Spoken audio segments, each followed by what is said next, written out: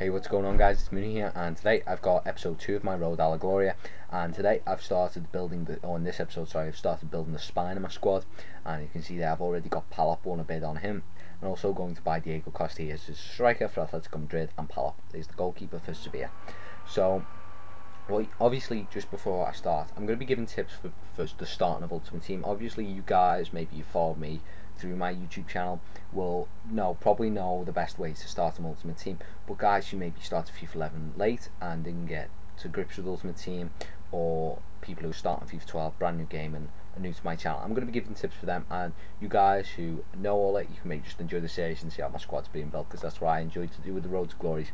So the Spanish squad, I will get. I keep. I'm just going to keep it with the 4-2-2 formation for now, because it seems to be working alright for me. The goalkeeper, the centre back, the centre mid, and the striker.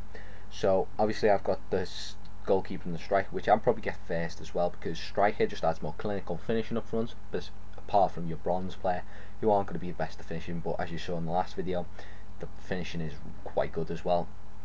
And also the goalkeeper just helps you keep a clean sheet so you're not conceding any stupid goals, especially because your defence will be um, a bit weak because of the bronze players. Then obviously you want to keep building your centre backs and centre mids. I do buy centre back in this video, but we'll get onto that when it comes up. So what you want to look for when obviously this game plays in the background, he does have an all Korean squad, and I think that's or South Korean. I think that's South Korean or North Korean. But whichever one it is, they're going to be. I think they're going to be a popular bronze and silver squad because there's a lot of them, as you saw. You get a lot of them in the bronze starter pack. But guys, Diego Costa, he gets his um, first goal here, but he does miss a couple of clinical chances in this game. But it's what you get. It's what you're sort of paying for. You're getting a cheap goal player. He's not going to be the best. It'll be someone like Falcao. We're going to be aiming to get obviously in the future. But he does get a good finish here, acting, acting on the game, acting on the play, and being very persistent. But what you want to look for when you're buying a new player.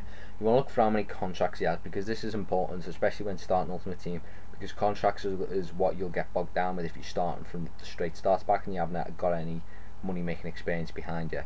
Because contracts are a lot cheaper than the FIFA 11 days because 500 um, coins for a gold contract was a lot especially at the start. But here you go. It unfortunately, I think the connection went in there. I don't, don't think it was a rage quit, but the connection did go and also you want to be looking for the formation. For example, I've got the 4-4-2 formation.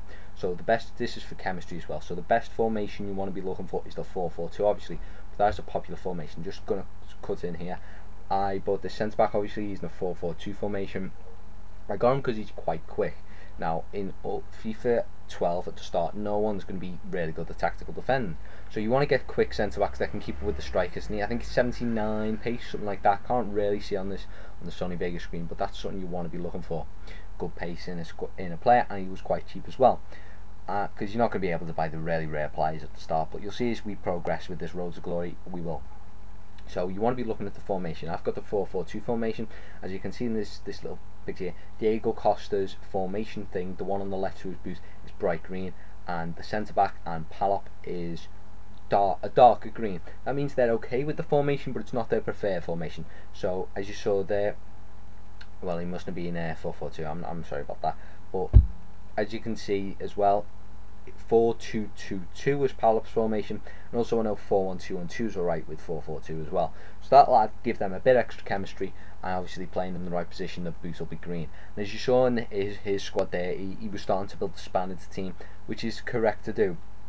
And I, I think it's just a general tip I'd give for anyone starting Ultimate Team, and even anyone who's a veteran of Ultimate Team you will start by the Spanish team Diego Costa does a really nice finish, finesse finish with his left foot as well and he's a right footed player so it's not too bad.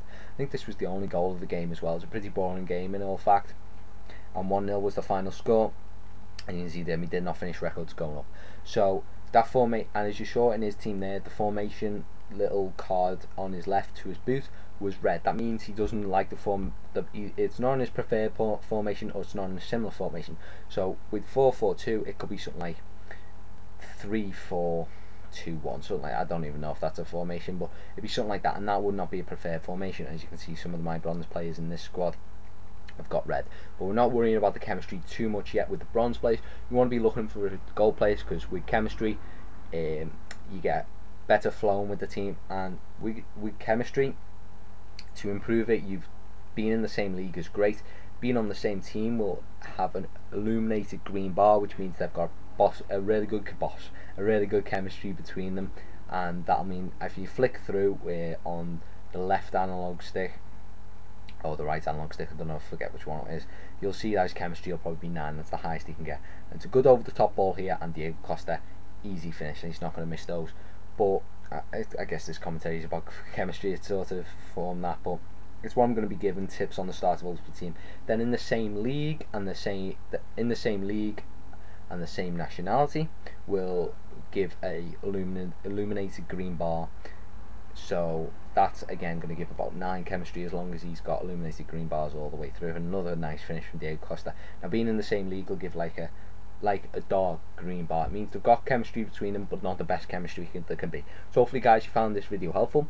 You also enjoy the road to glory, and you can see this team progresses. We've started to get three plays in this video.